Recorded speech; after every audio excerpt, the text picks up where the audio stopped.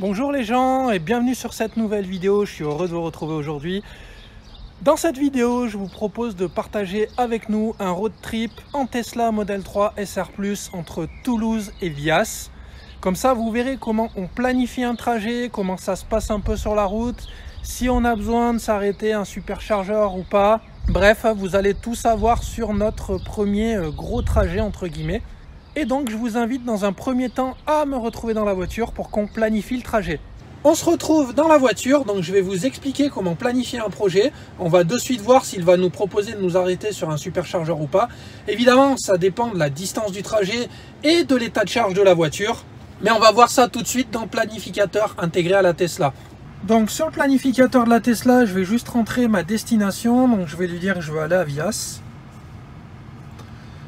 Voilà, donc il m'indique que de Toulouse, j'ai à peu près 164 km pour aller à Vias Plage. Donc ok, on va cliquer sur Vias. Donc il me calcule là instantanément le trajet avec, en m'indiquant si je vais avoir besoin de m'arrêter à un superchargeur en tenant compte de la charge actuelle de la batterie. Donc là, actuellement, ma batterie est chargée à 98%. Et donc, dans l'estimation de trajet qu'il m'a fait, il m'indique qu'on a 2h12 de trajet et il estime qu'on n'aura pas besoin de s'arrêter à un superchargeur. Je vous montre le trajet complet. Donc, si on voit le trajet complet donc de Toulouse à Vias, il nous explique bien qu'il n'y a pas besoin de, de s'arrêter à un superchargeur et il nous indique qu'on devrait arriver à Vias avec à peu près 11% de batterie. Donc vous voyez, pour un trajet de moins de 200 km, pas besoin de s'arrêter à un superchargeur. Alors nous, nous allons quand même faire un arrêt au superchargeur Narbonne, histoire de charger un petit peu la batterie. Parce que là où on va, on va aller chez mes parents qui n'ont pas de prise dédiée aux véhicules électriques. Donc on va pouvoir recharger un petit peu chez eux, mais sur une prise électrique extérieure standard de 220 volts. Et donc la recharge va prendre un certain temps. Du coup, pour éviter de se retrouver embêté, eh ben, on va planifier un petit arrêt de 20 minutes au superchargeur de Narbonne, histoire de rebooster un coup. Et comme ça, quand on arrivera à Vias, on aura beaucoup plus d'autonomie. Sachant qu'en plus, on a prévu de faire euh, quelques petits trajets à Vias. Notamment, je pense qu'on va aller se balader un petit peu euh, du côté du Cap d'Agde pour aller profiter du salon de la mobilité électrique. Du coup, eh ben, au moins on sera tranquille, on fait notre petit arrêt au superchargeur et comme ça on arrivera à Vias avec un petit peu d'autonomie pour être tranquille.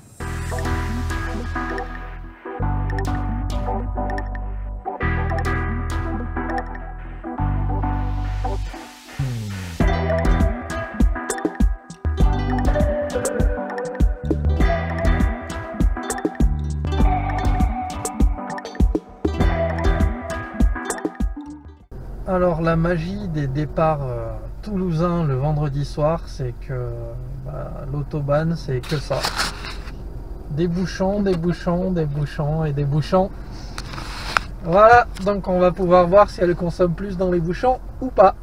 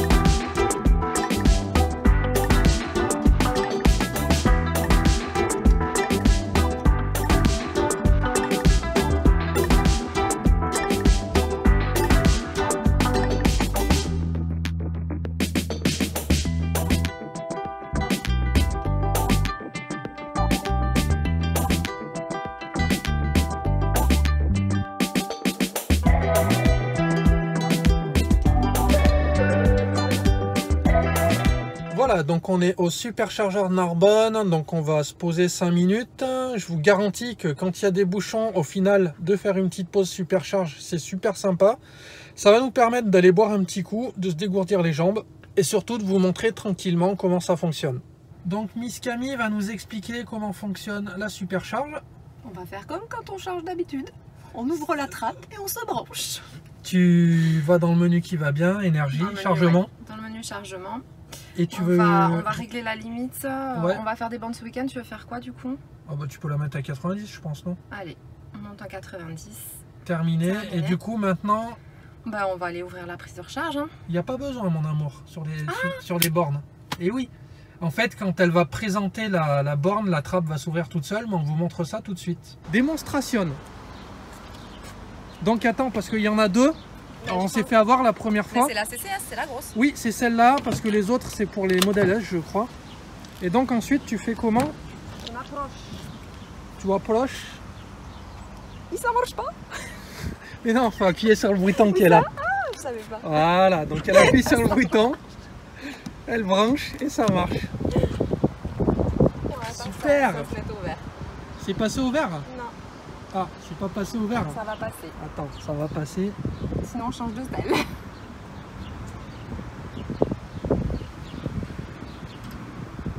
Yeah, c'est passé au vert. Maintenant, on va aller voir combien Donc, ça, ça nous fonctionne avance de temps. 25 minutes. 25 minutes Ouais. Alors oui, parce qu'il nous le dit. euh, Vous voyez là sur l'écran, pam, il nous le dit.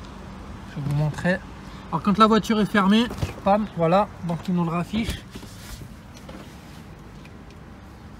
Donc grosso modo, pour passer de 47% à 90, ça va ralentir en arrivant à 90, il nous annonce à peu près 25 minutes.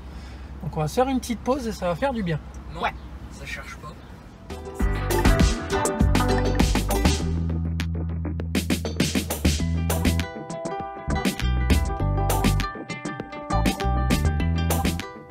Ça avance tranquillement, il nous reste 10 minutes. On en a profité là pour se dégourdir les jambes. Peut-être qu'on va se regarder un truc vite fait sur YouTube. Il pleut, donc on est venu se réfugier dans la voiture, mais on en a profité pour se dégourdir les jambes, hein, c'était super sympa. Et surtout, encore une rencontre très très sympathique euh, avec quelqu'un au superchargeur, donc une personne avec ses deux enfants, qui ne savait pas euh, utiliser le, le superchargeur, puisque c'était la première fois, donc ça, ça a donné l'occasion de nouer contact, de discuter un peu, je trouve ça vraiment euh, super sympa. Camille en a profité pour papoter aussi, donc voilà. Camille adore parler. Hein T'adores parler. ah oui, là c'est gros déluge. Bon, du coup, on s'occupe un petit peu pour les 5 minutes qui restent. On regarde les copains de Villebrequin qui sont en train de drifter avec un bus. Bon, la charge est terminée, on a changé de conducteur. C'est toi qui nous amène à Vias On va essayer. Oh, ça devrait aller. Non, mais c'est à cause de la Combien il nous reste? Il nous reste 36 minutes 53 km. Et on a rechargé à 90%. Voilà, voilà. Allez, c'est reparti. C'est pour moi. Météo toute pourrie pour Miss Camille. Alors surtout, pour si vous venez au superchargeur de Narbonne, je voulais vous prévenir, faites attention parce que ce passage, il est vraiment dangereux. C'est une route qui tourne et en fait, il faut couper la route pour entrer et sortir euh, pour aller au superchargeur à l'hôtel Novotel. Donc euh, faites attention. Et nous, on est reparti. Voilà, donc moi, j'ai pas eu de pluie. On s'arrête, on recharge. Camille, elle a droit à la pluie. C'est cadeau C'est cadeau. C'est cadeau. Tu veux toujours pas nous montrer comment on drift? Non, Oh, je suis sûr que les gens ils aimeraient bien te voir drifter. Ça risque pas. Moi, je conduis comme une mémé.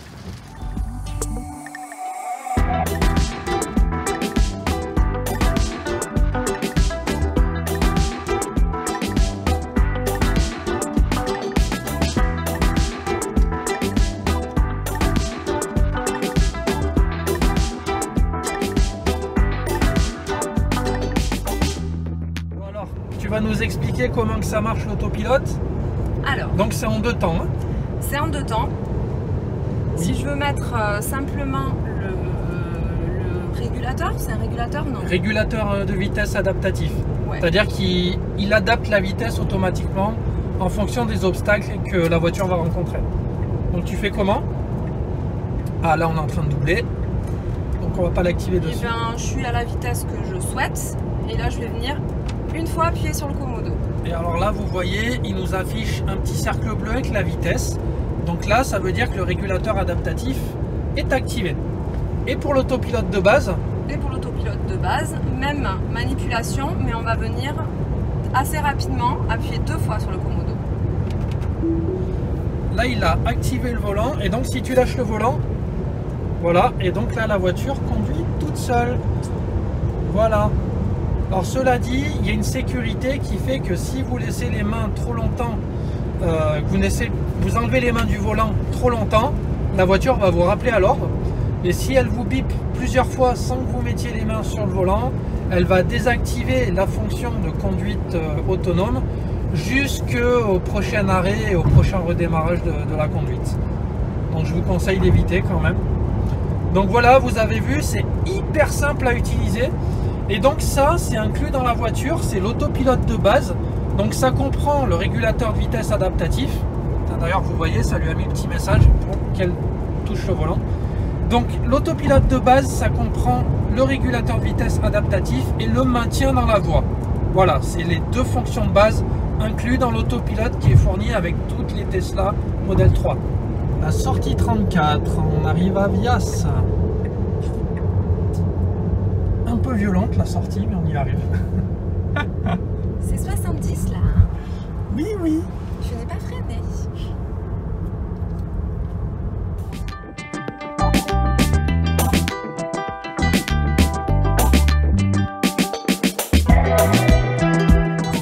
Alors là, je m'offusque parce qu'on vient de se faire doubler par une merguez. Ça, c'est pas possible. Quand t'es un Tesla, tu peux pas te faire doubler par une merguez. C'est pas possible. Ah bah si. Ah bah non, mais non, mais non, c'est pas possible. Non, il y a des règles quand tu conduis une Tesla, le, le merguezage, le doublage par une merguez, c'est absolument interdit. Voilà.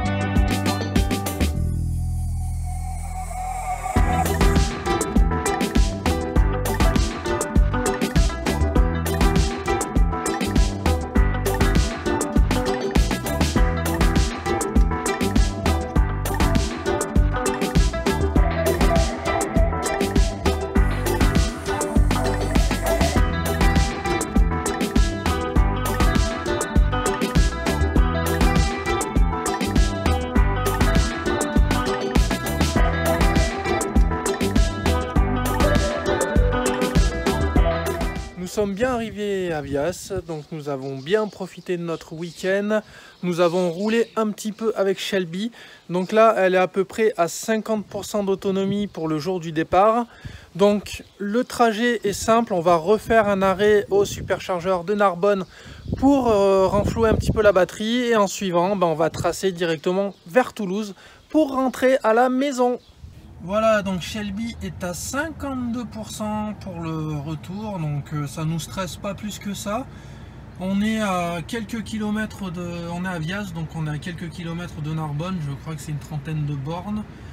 No stress, on va s'arrêter à Narbonne, on va boire un bon petit café en bord de piscine et on va tracer ensuite directement vers Toulouse. Oh que tu es belle mon amour Tu nous fais une démonstration magnifique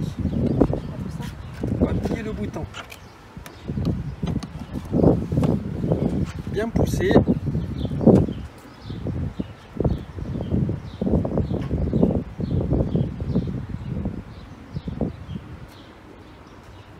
Et normalement, à un moment donné, ça passe au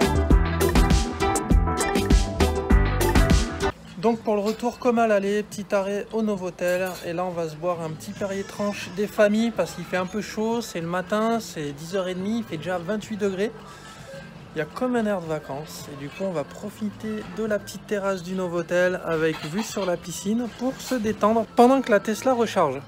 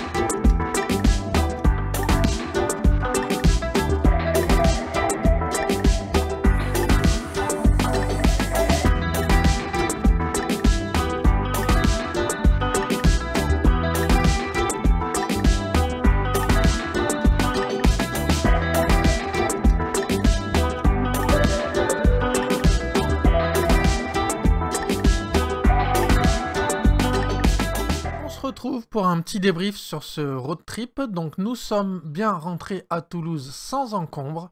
Et nous avons super bien profité de ce week-end en bord de mer où on a profité du grand soleil, du fait que les terrasses soient réouvertes, que les restos revivent. Bref, on profite à nouveau de la vie à peu près normalement. Pour ce qui est du road trip en Tesla, ben, que ça soit pour l'aller ou pour le retour, on s'est pas vraiment posé de questions. On stresse pas vraiment avec les histoires de recharge. Dans tous les cas, là, c'était de l'autobahn essentiellement, donc on savait que on aurait un superchargeur accessible à un moment ou à un autre. Donc dans le cas du trajet Toulouse-Viaz, bah, c'est le superchargeur de Narbonne. En plus, on a la chance que ce superchargeur soit vraiment agréable. Le Novotel où il est placé est vraiment super bien. Le personnel de l'hôtel est vraiment super sympa. Ils sont petits soins avec nous pour nous servir de quoi nous désaltérer, pour qu'on puisse se détendre au bord de la piscine. Bref, c'est super accueillant. Camille et moi avons encore bien profité de la Tesla, on s'est super régalé à la conduire à l'aller comme au retour. On s'est régalé également à la conduire à Vias pour nos petits trajets, on en a profité pour aller au Cap d'Agde, où on s'est posé un petit peu. Bref, le week-end a été super agréable et la Tesla, comme d'habitude, super confortable et super kiffante à conduire. Cette petite vidéo a aussi pour but de rassurer un petit peu les gens qui ont l'air de stresser avec euh, les questions de recharge. Même avec le petit modèle que nous avons, entre guillemets, le SR+, qui est vendu pour 300 euh, et quelques kilomètres d'autonomie quand on fait de l'autoroute. D'ailleurs, je tiens à préciser pour ceux qui seraient choqués de l'autonomie d'arrivée, c'est-à-dire que là, on a fait un trajet d'à peu près 200 km en partant à 98%. Sauf que euh, le planificateur de la Tesla avait prévu qu'on prenne des bouchons, puisque le GPS de la Tesla étant connecté, il gère en temps réel les ralentissements, les bouchons. Donc je pense qu'il avait prévu la petite surconsommation liée aux bouchons, puisque d'habitude c'est un trajet euh, que je fais à peu près en 1h45 quand j'ai pas de bouchons, et là le planificateur avait bien planifié qu'on mettrait à peu près 2h30 de trajet, soit euh, une 45 minutes euh, en plus que d'habitude. Donc ça explique la consommation un petit peu plus élevée de la voiture puisqu'il avait planifié qu'on ferait du surplace dans les bouchons avec la clim. Dans tous les cas, l'arrêt au superchargeur de Narbonne a été super agréable, on a pu se détendre. Et je profite de ce petit point pour préciser aux gens qui ont peur aussi, qui ont l'habitude de faire les trajets d'un seul coup, comme beaucoup beaucoup de personnes, ce qui était notre cas avant. Mais nous, on avait déjà commencé à changer, on avait déjà commencé à prendre l'habitude de faire des petits arrêts avec notre ancienne voiture. Là, les arrêts au superchargeur avec la Tesla, c'est vraiment un point de rupture dans le trajet. Ça permet de se détendre, ça permet de changer de conducteur, ça permet de se dégourdir les jambes, de boire un petit coup, c'est vraiment super agréable. Je dirais même que j'aurais maintenant du mal à me passer de ces petits arrêts qui, au début, pouvaient faire peur, puisqu'on a vraiment tous l'habitude de faire les trajets d'un coup. Et là, c'est des petits points vraiment détente qui vont devenir, je pense, essentiels dans notre gestion de nos trajets routiers. J'espère que cette vidéo vous a plu, qu'elle a pu éclairer les gens qui se posaient des questions sur comment se passent des trajets en voiture électrique et en Tesla. Nous, en tout cas, que ça soit notre trajet pour Gruissant, notre trajet pour Vias, ou les divers trajets qu'on a planifiés pour les vacances ou pour nos petits week-ends, je vous garantis qu'on stresse absolument pas pour les recharges et pour comment ça va se passer, puisque le réseau électrique est beaucoup plus étendu que ce que la plupart des gens pensent.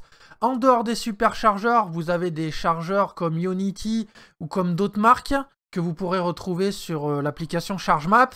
Vous avez aussi beaucoup de communes et de communautés de communes qui commencent à mettre à disposition des chargeurs gratuitement ou payants mais qui sont très peu chers. Vous avez aussi des possibilités de recharge sur les parkings de supermarchés. Vous avez des chaînes comme Leclerc, Lidl ou d'autres chaînes qui commencent à mettre à disposition gratuitement des bornes de recharge pour aller faire les courses. Bref, il y a vraiment plein plein plein de solutions de recharge. Donc ne stressez pas avec ça, vous trouverez toujours un moyen de recharger votre Tesla. Voilà, j'espère que cette vidéo vous a plu. Si c'est le cas, n'hésitez pas à partager, à liker et à vous abonner. J'ai été heureux de passer ce moment avec vous. Je vous dis à très bientôt pour une prochaine vidéo. Ciao ciao